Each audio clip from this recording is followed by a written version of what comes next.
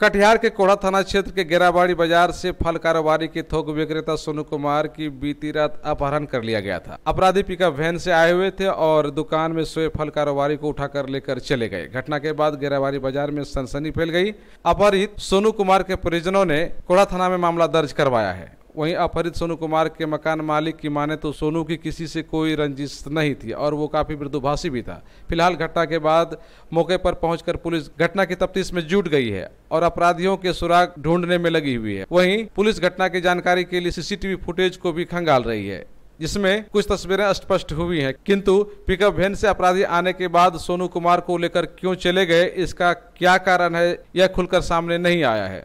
और अपहरणकर्ताओं की ओर से कोई फिरौती की भी मांग अभी तक नहीं की गई है। इस संदर्भ में व्यवसायिक प्रतिस्पर्धा की रंजिश की बातें सामने आ रही हैं किंतु अभी तक इसकी पुष्टि नहीं हो पाई है। इस घटना के बाद इलाके में व्यवसायी काफ़ी असुरक्षित महसूस कर रहे हैं और पुलिस मामले की तफ्तीश में जुटी हुई है। पुलिस का दावा है कि बहुत जल्द मामले का खुलासा कर दिया जाएगा। साथ ही सोनू को सकुशल बरामद भी कर लिया जाएगा। ये लड़का आया अगर खोलने के लिए दुकान तो बोला कि सोनू को उठा के ले गया। कौन ले गया? था और कौन ले गया ये तो हम नहीं जानते। कितने बजे की घटना है? घटना हम तो आए हैं यहाँ पाँच बजे लेकिन यहाँ आने पर पता चला कि ये चार बजे के पहले का घटना। तो क्या था नाम लड़का का? सोनू साहनी पता चला दूसरा कोई के बोल रहा था कि ये पिकअप से ले गया। पिकअप से ले गया है। उम्र क्या था लड़का का? उम्र वही बाईस बरस से ऊपर। यहाँ किस चीज़ का दुकान था? फल फल का मामला तो अपहरण का है। इस बारे में पूर्ण जानकारी जो है लगभग छः बजे जब हम सुबह उठे तब हमको मालूम हुआ।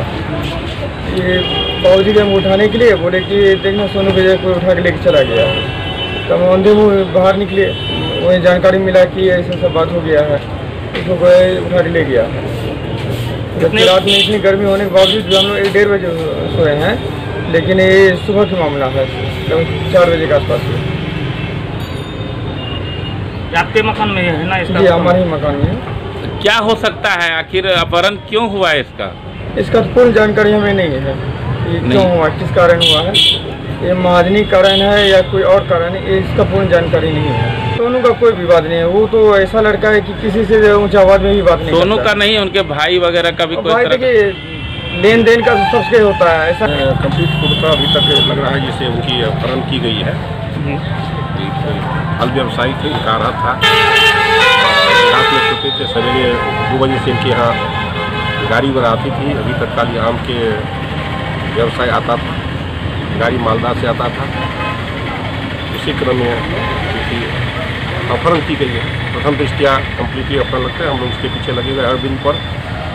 हम लोग उसके पीछे लगे हुए हम लोग शीघ्र ही रिकवरी करेंगे।